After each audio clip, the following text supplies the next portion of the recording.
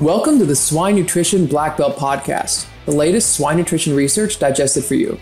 I'm your host, Clayton Chastain, and today we are back again with Dr. Dan Columbus, a research scientist at Prairie Swine Center. So, Dan, I'm going to skip a little bit of the typical introduction and background stuff that we do, partly because you've been on the show several times, and also partly because it, one of them was just recently. Um, so, I'm going to jump right into the topic so we have a little bit more time to discuss that.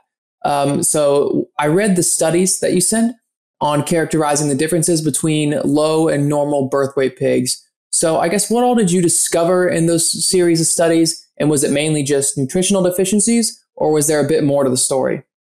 Yeah, so I guess a little bit of background in the, into the studies first, because we know that you know low birth weight with these high prolific prolific sows are is becoming more and more of a problem, right? Just in general, um, and we wanted to tease apart how much of the difference is due to the fact that they're low birth weight versus the fact that, you know, people think that they might just not be competitive for resources, mainly, you know, sow- sow's milk intake and, and maybe even later on. Surprisingly, I guess in a way, we found that nutrition had very little impact, right? So average daily gain of the pigs and, and everything obviously was was lower if you don't feed them.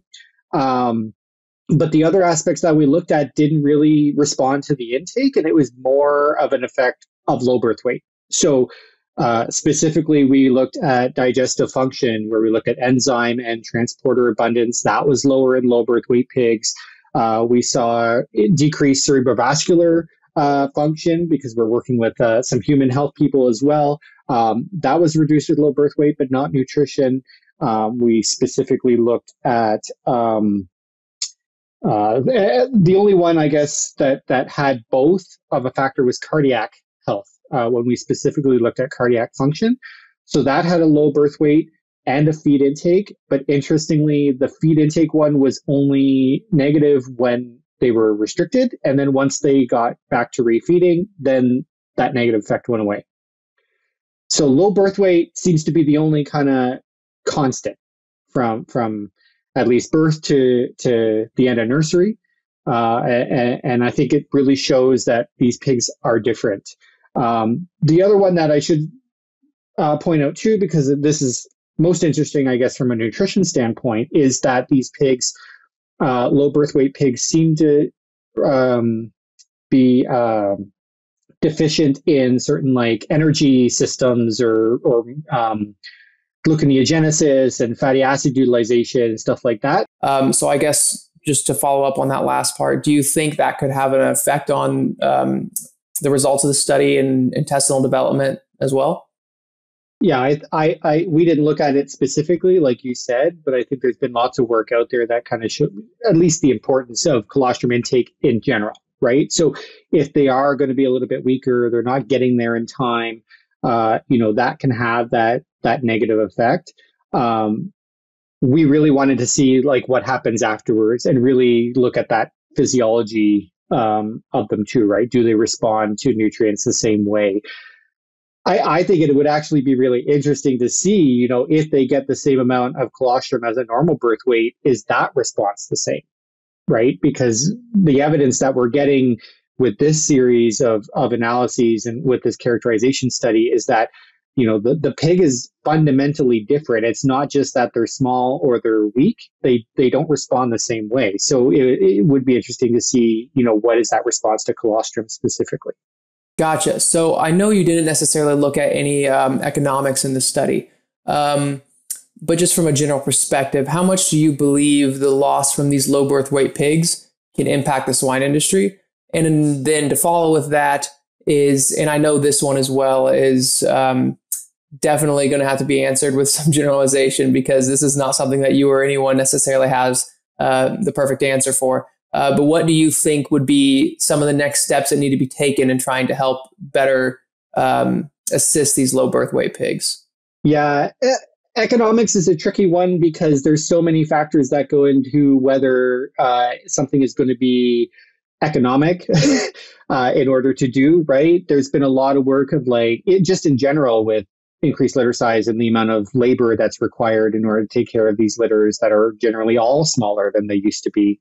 uh, with cross fostering and split suckling and all those other factors that you do, right? I think there's been some work that's been done to say if you need, if you have to have, say, 24 hour labor, then you need to be saving 2.3 pigs or something like that per litter, right? So I think the mortality aside, I think the issue is whether or not knowing that these pigs are small, they're not going to grow as efficiently and eat more. Can your production handle that, right? Keeping them longer or marketing them lighter. That's not a number I can tell you, right? That's going to be de- dependent on your own uh, facility and, and what you can do, you know. But I think we really need to start looking at it, you know, and this is controversial, but it's like, if are bigger litters really saving us and making us more profitable, or should we go to maybe smaller litters with more robust pigs? Um, so I'll just put that out there. I know nobody's going to like that. Uh, but if we're going to continue, which we probably will, right? The next steps for us is specifically looking at the results that we're we're seeing and spe- look then at targets. So what can we specifically do say in the feed or in the management to help these pigs? And you know it might be looking at the energy type or or you know what we're putting in the diet to help with that that deficiency in energy utilization. It might be looking at you know what do we have to do to account for the decrease in digestive uh, capacity and everything in those pigs right? Instead of just assuming that they just need more feed so that's really what we're going to start to look at you know what are some of the the key things that we can look at instead of just trying to to pump more into them and yeah, that brings up another point. Um, and this point might not be something that many people like to discuss because it's a little, it's a little bit of the the darker side, I guess you could say, of the swine industry. But when we're talking about these low birth weight pigs and we're talking about economic profitability, you have to discuss if we're if we're able to identify these low birth weight pigs, at what point do we say it's no longer um, in the pig's best interest or from an economic perspective um, in, in economically our best interest to keep these pigs around and then we should then humanely euthanize them? Is that at weaning? Is that at birth, like this study when you first identify them? Is that after the nursery, after you give them a shot? Um, I think helping define that line and figuring out where that line is can help a lot of producers maybe increase their uh, profit margin. Now, given there isn't going to be a set a, a, set day or a set time for every farm. It's going to vary considerably on management practices and many other factors within the farm. But trying to identify those pigs and pick the appropriate time, I think, could very much help um, farmers increase their profit margin over time. Yeah, I think it ties back to your your economics question, right? Like it, it's going to depend on the specific situation.